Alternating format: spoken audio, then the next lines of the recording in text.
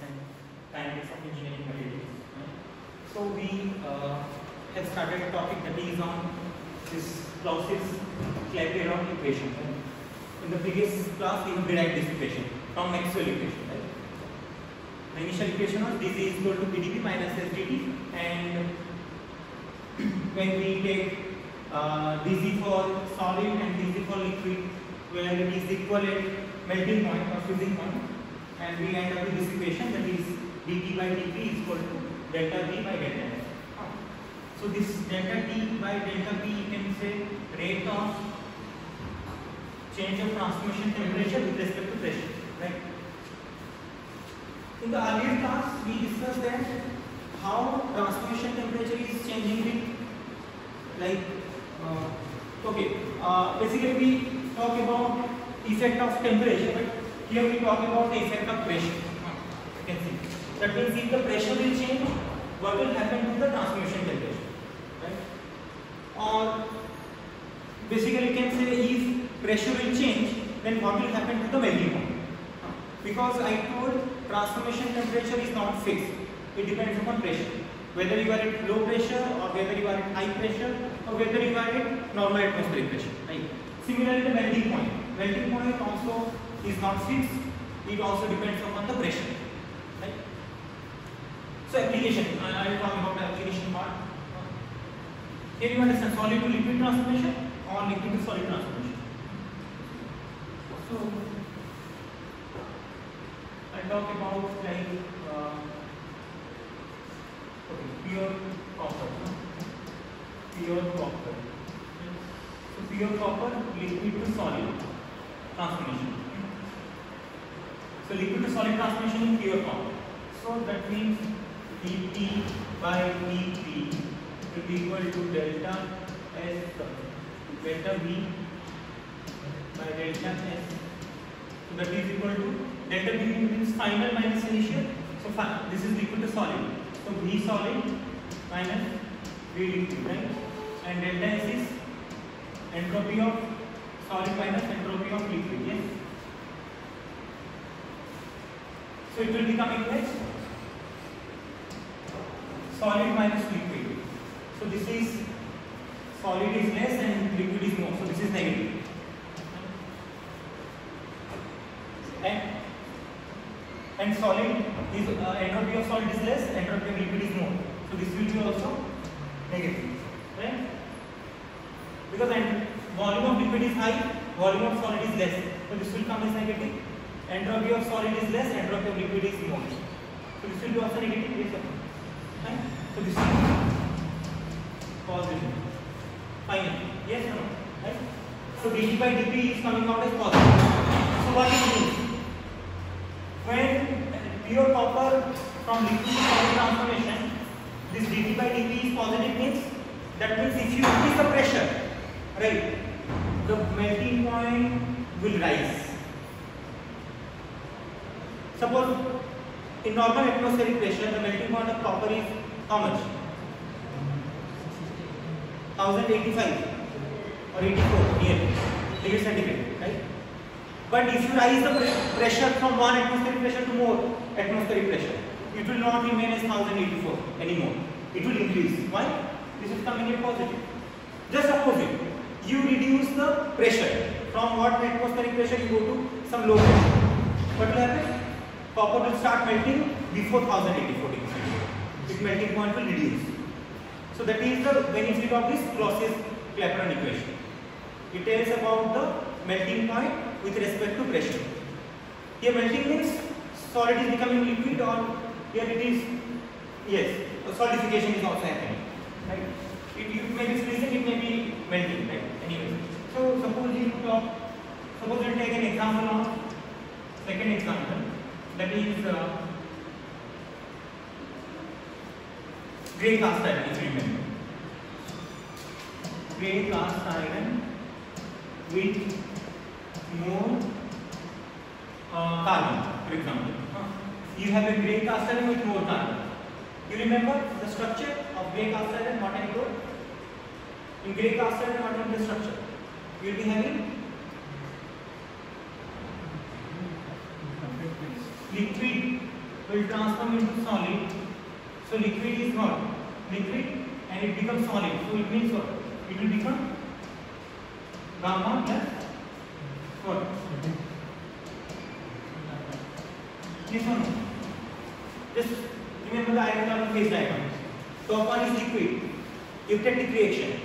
Liquid becomes gamma plus Fe3C. You remember the iron carbon phase diagram? Gamma becomes eutectic reaction. Yes. Gamma becomes what? Sorry, liquid becomes gamma plus Fe3C.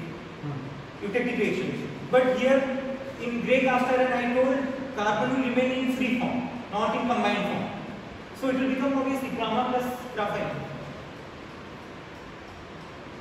It is okay? Yes, sir. This is eutectic reaction. So when it will solidify, it will become gamma plus graphite. Or when it will go to the low temperature, it may be gamma may also decompose into perlite and graphite. Okay? This is intermediate reaction temperature. If you go to the room temperature, again gamma will decompose. Gamma is the parent phase, it will not remain. It will become perlite maybe. Depends on the weight percentage of carbon. Right. Obviously, it will give you perlite plus graphite. And graphite means graphite flakes. And if you remember what is graphite, graphite has very low density. That means it has very high volume. Right? So that means when you are taking liquid grey cast iron and it is becoming solid grey cast iron, so there will be expansion in the volume. Right? It simply means that. So if we want to find out dt by dt now, dt by dt, delta v by delta s. So this will be volume of solid minus volume of liquid divided by entropy of solid minus entropy of liquid. So it will be how much? Solid and liquid. So solid volume is more in this case. Liquid volume was less. So this will be positive. Yes or no? You understand why? Because volume of grey, solid grey cast iron is more now because of graphite flakes. But liquid was low, so it is positive. Divided by entropy of solid is always less, entropy of solid is liquid is always more. So this is negative. This negative. Yes. So finally it will become negative. So dt by dt is coming out as negative. In the first case it is coming out as positive. So it is coming out as negative means if you increase the pressure from normal atmospheric pressure, what will happen to the melting point? Decreases. It decreases. Very good. But if you, in other way, if you decrease the pressure from normal atmospheric pressure, you go to vacuum, it increases the melting point will increase, right? But which was just opposite for the copper, pure copper. So this process, Clapeyron equation helps you to find out the melting point of metals, alloys, basically basically metals, right? Or alloys for a given pressure. Similarly, I- you remember, I talked about vacuum arc remelting. Basically, in case of steels or for many metals, we do not get pure metal. We end up with impurities. We again have to remelt it. That is called remelting, but that is done in vacuum. Right? If you are applying a vacuum during melting, that will give you benefit. How? The melting point will go down. If this is the situation. Right? I am taking a steel and liquid steel becomes solid steel. Again you are melting it, remelting. That is vacuum arc remelting. That means you have to generate a arc to melt it, but under a vacuum. Huh. For steel, same thing, same thing happens. Liquid have higher volume, solid have lower volume. Right? Entropy of liquid is higher, entropy of solid is less. It, it will come out, dt by dt will come out as positive. For steel also same. Right? So again, that means what is it saying? That means melting point depends upon pressure. If you increase the pressure, melting point will increase. But if you decrease the pressure, melting point will decrease. Right? So that's why you can do what? You can save your energy. You have to find out, that means if you are applying a certain level of vacuum, what will be the melting point? Suppose the steel is melting at 1200 degree centigrade, for example. Huh? Right? and when you are applying vacuum, it is melting at 900, for example, 900 degree centigrade. So you should not go to 1200. You go to only 900. That means you are saving some energy. But if you don't know this Clausius Kepler equation, that means by you have to go to 1200 degree centigrade. That means you are wasting energy. You go to 900 degree centigrade. You apply a certain vacuum, it will melt, and your metal will, or your alloy will purify. Vacuum arc melting is a purification process. We can purify our metals and alloys. Fine? You understood the point? So these are some certain applications.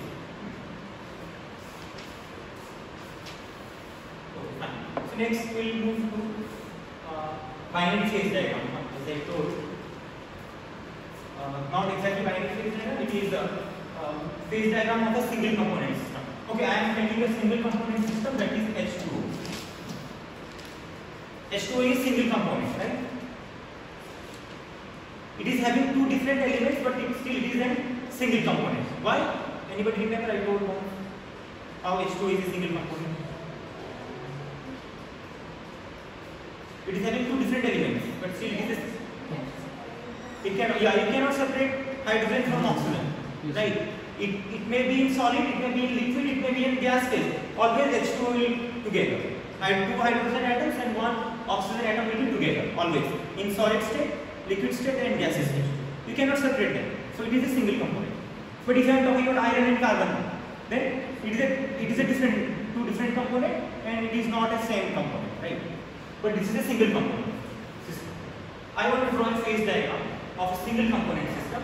So you remember if you want to draw a phase diagram of a single component system, what are the variables? Temperature and pressure, right? Because there is no variations of composition. Yes. You have only temperature and pressure. So here I am writing temperature, but should I write temperature only? This is not temperature. Is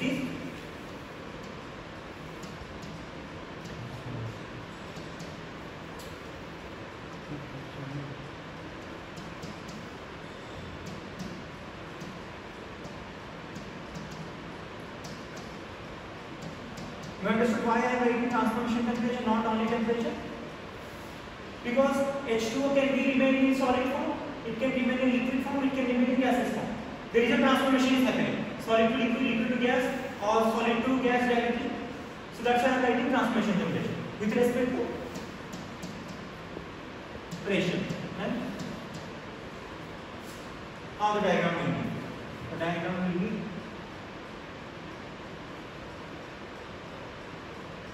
Okay?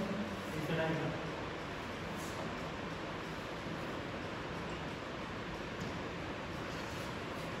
This is solid resin. And this is gas. Fine? H2O is solid, this liquid, this is gas. Yes. Very important. Similar diagram of Florida solid. This is temperature versus pressure.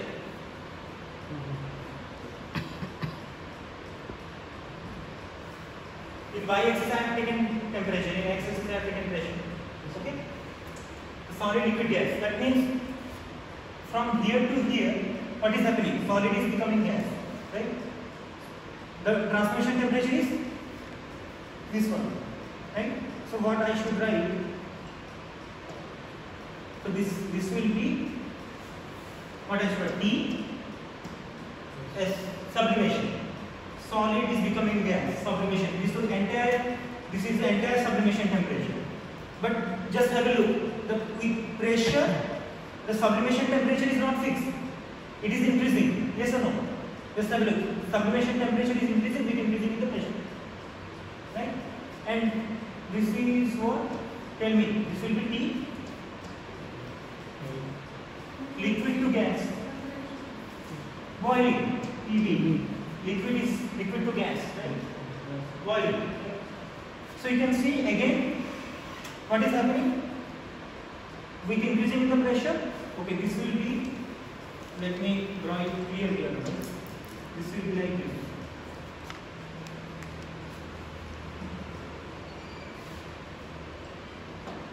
So again you can see the boiling point. With increasing the pressure, the boiling point is increasing. Yes or no? Pressure is increasing, the boiling point is also increasing. Right? And this one will be T what? TM. Solid liquid, very good. So this will be melting T, Tm. It is okay now. Now we have to see, we have to use Clausius-Clapeyron equation and we have to justify why Ts is increasing with pressure, why Tb is increasing with pressure, but Tm is decreasing with pressure. Right? So here that means there is an effect of pressure on the transformation temperature of what? Of H2O from one phase to another. H2 is changing its phase and this temperature is affected by pressure only. So we have to justify with the help of Clausius-Clapeyron equation. Right? Again, I, I can say I will start from this one Ts.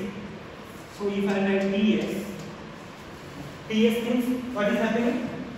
Solid is becoming gas. Yes, right? This is the transformation. Solid H2 is becoming gas H2. Right? So we know that dT by dP is equal to delta delta P by delta S. This is this T means transformation temperature. P means pressure. So this will be equal to delta B is equal to B gas minus B solid and entropy is entropy of gas minus entropy of solid. For H2 I am calculating. So this will come out as gas minus solid. So it will be positive. Gas has high volume, solid has no volume, right? Entropy of gas is high, entropy of solid is less. So finally you end up with positive. So dT by dP is positive. What means? What it means? It means if you increase the pressure, then what will happen? Transmission temperature will increase. Yes or no? So just have a look. With increasing in the pressure, the transmission temperature is going up and up and up. You can justify this. Similarly, I'll, I'll take an example of right now. Uh, this one, liquid to gas transformation. Uh, for this one, TB uh, or TB, liquid to gas transformation. Right? So again, I can write dT by dP is equal to delta P by delta S. So that is equal to so liquid to gas, right? So volume of gas minus volume of liquid divided by entropy of gas minus entropy of liquid. So that is how much? So gas has high volume, liquid has low volume. This is positive. Entropy of gas is high, entropy of solid is low. Right? This is again positive. So finally, positive again. So dt by dp for this Tb is also positive. So that means again, that means if you increase the pressure, transmission temperature will increase. This is coming out as positive. So we can see this is going up and up and up with pressure. Tb is also going up with pressure, right? But now, uh, your, this is your assignment. Tm. Just find it out for Tm and tell. For Tm. Melting. Melting means transformation will be solid to liquid. Right? Melting. So, now dP by dP is equal to delta B by delta S. That is volume of liquid minus volume of solid divided by entropy of liquid minus entropy of solid. So that is liquid and solid. Liquid and high volume positive. Liquid and solid. Entropy of liquid is high and solid is less. Something goes wrong. Liquid solid. Liquid solid. So again it's coming out positive. How? Uh, GS minus BL. Oh, sorry, yes, yes. Uh, this way. Sorry,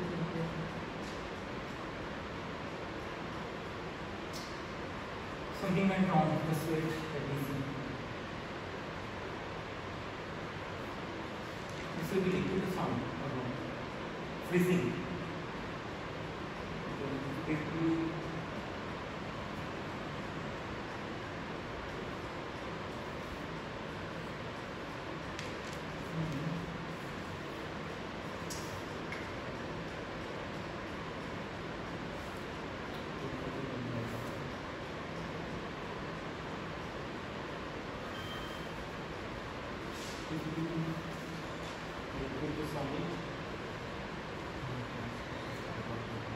Fine. If I write please otherwise. I solid. Sorry, sorry, sorry, sorry. Sorry, sorry, sorry. This is uh, solid to liquid. Okay, fine, fine, fine. So this is actually, and now this is H2O. Yeah. So this is H2O means solid is ice. I made a mistake here. Solid is ice. And this is liquid means this is liquid H2O. And we know that ice have higher volume compared to liquid H2O. right? Yeah. So now it is okay. Thank you. Okay. So I. So it means volume of liquid is low, volume of solid is high. It is negative. Made. And entropy is fine, positive. Liquid high entropy always, solid. So it is finally coming out as negative. Okay, so dt by dp is coming out as negative. So that's why you can see with increasing the pressure, this is going down. Tm is going down because it is coming out as negative. So the mistake I have made was this one, huh? Solid has higher volume in case of H2O. But if you, I am talking about copper or aluminium or iron, solid have low volume but liquid have high volume. Right? Okay, anyway, so this is done.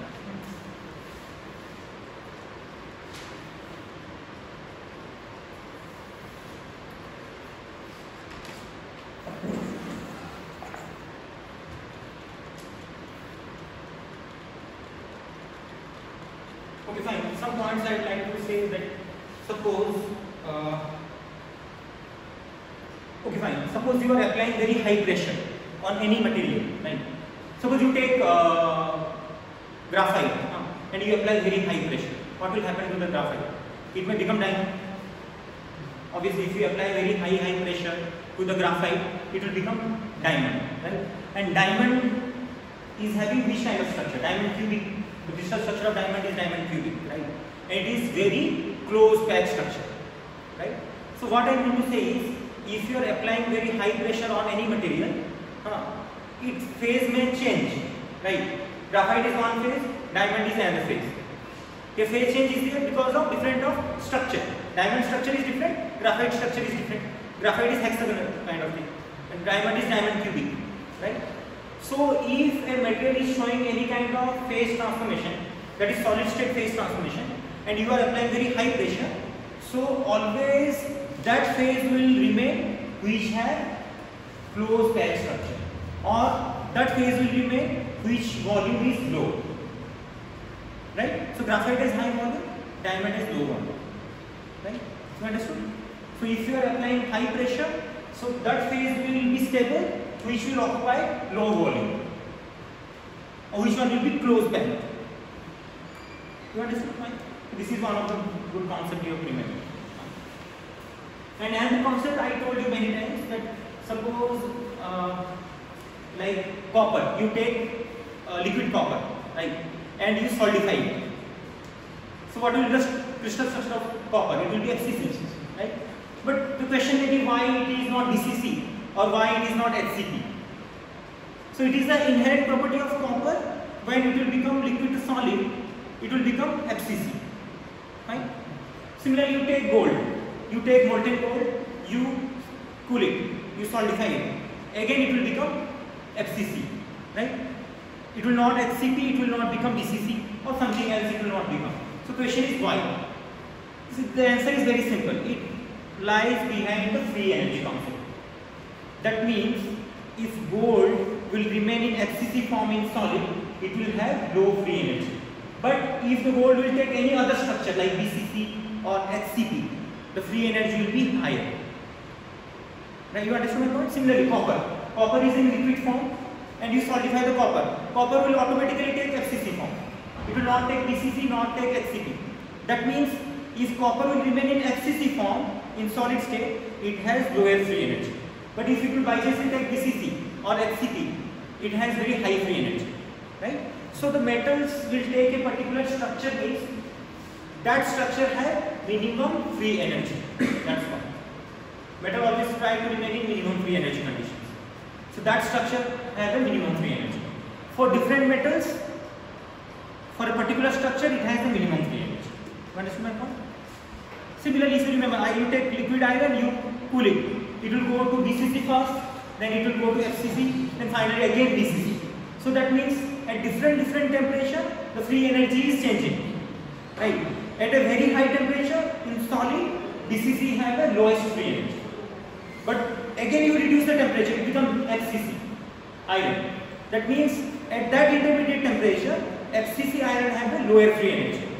Again you cool it further to the room temperature completely. Again FCC becomes DCC. Why? Because at room temperature again DCC form of iron have lowest free energy. That's why. So free energy is always changing with respect to temperature. Already we seen the G versus T. Right. So these are the things. Similarly, at very high pressure, iron also remain in FCP form. You see, I have shown you.